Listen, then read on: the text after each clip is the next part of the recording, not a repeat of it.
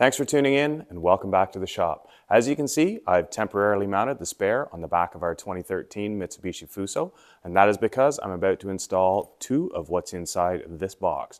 This video is guaranteed to brighten your day or light up your night.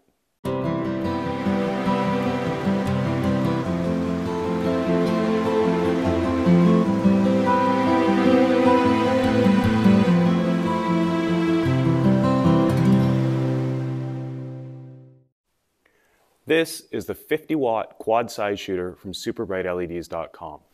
5100 lumens, 9 to 32 volts, it's got a cast aluminum housing, and these things are insanely bright. I'm going to be using a pair of these for reverse lights, one mounted on each side of the spare tire. Of course, at 50 watts, these are going to draw significantly more than the original 21 watt reverse lights. So I'm going to be using a signal from the truck to trigger a relay to turn these on. And that means I've got to run a new power source from the battery back to the relay to feed these two lights. To make things a little bit easier up at the battery end, I've added a single inline fuse. This will have a 10 amp fuse in it to power both of the lights. And I've also installed a ground terminal strip so that any of the accessories that I wire up for this flat deck can connect here and I only have to have one wire running to the battery negative. That small lead with the 10 amp fuse in it is somewhat temporary. I will be installing a fuse block up here at a later date to power multiple circuits for the tray back. When I first got this truck, it had a whole bunch of excess wiring on it.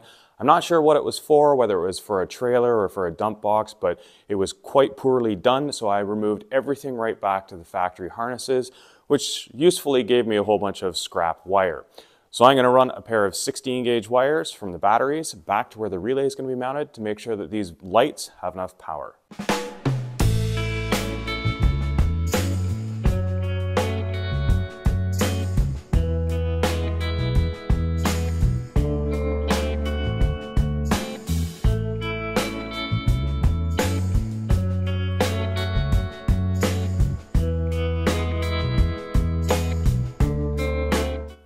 May recall from the last video when I wired up the tail lights, I elected not to use a relay harness and instead to wire directly to the relay.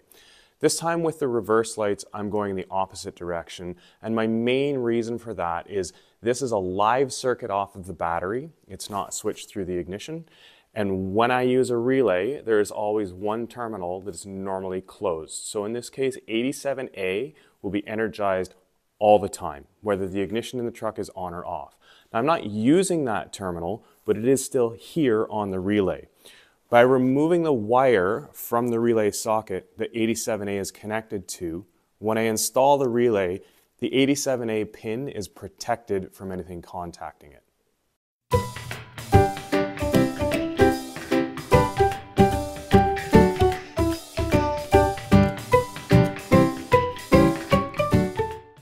There are a number of ways that you can splice two wires together into one connector. Here's what I like to do. I bend them away from each other so that when you pull them together and twist them around each other, they're at a steeper angle and you get more cross and you get a fatter wire. I don't mean you get angry, I mean you get more wire cross.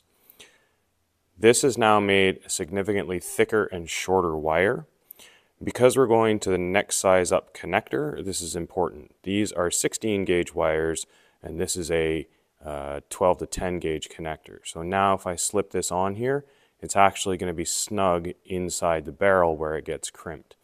If you twist the wires together without crossing them, you get a much narrower angle, much less twist, and it's actually fairly easy for these to come apart. So bending the wires away from each other before you twist them together is going to get you a stronger mechanical connection before you rely on your crimped mechanical connection. Down underneath the truck again, I am connecting, this is my feed wire here. My negative from the feed wire is going to go straight to the lights. My positive from the feed wire is going to the in on the relay which is pin 30. So straight crimp to pin 30. This now would have, with the fuse in place, power going straight to the relay. The output side of the relay is going to go to the two white wires that are feeding the two lights. Output side of the relay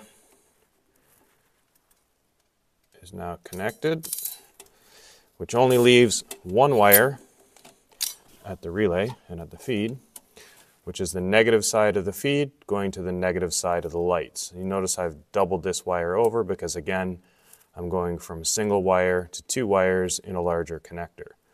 Nice snug fit in there. Crimp this one on.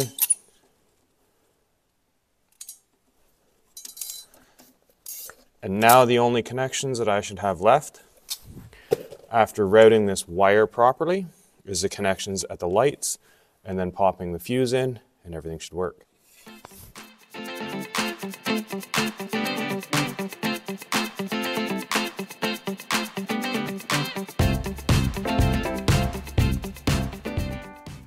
These lights do come with nice stainless steel hardware and all that I really have left to do mount this bracket here, bolt the light in, plug it in, and give it a try. This is a pretty thick piece of steel and I hope my drill bit is sharp.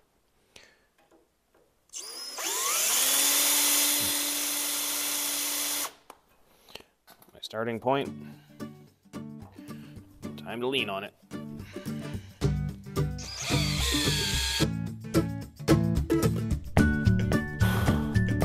I really wish I had a mag drill. This is a lot of steel.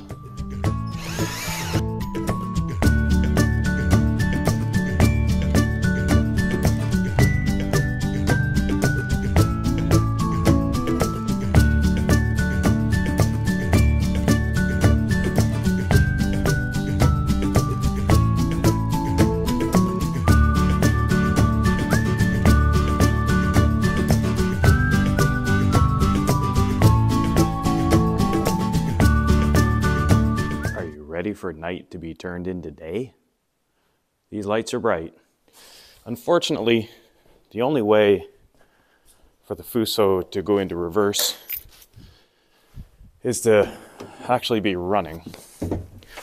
So let's just start it up here. Stick it in reverse.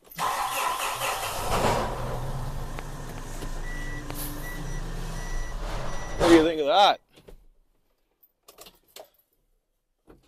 So obviously it's a little bit hard to tell how bright lights are when you're in an area of light. So let me try turning off all the lights in my shop and see if I can temporarily bypass this relay underneath here and give you an idea of how bright these really are. Because I don't fall on my face getting back. I do have a small light underneath here so I can see what I'm doing. But I think you'll agree these lights are pretty bright.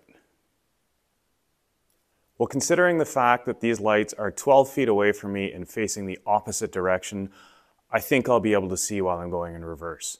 I hope you enjoyed that video, and if you did, please give us a thumbs up. Maybe consider subscribing if you haven't already. And if you have any questions about the lights that I installed or how I installed them, throw a question down in the comment section below, and I'll do what I can to answer it. I hope you enjoyed that video. There's plenty more to come, so stick around, and we'll see you next time. Thanks for watching.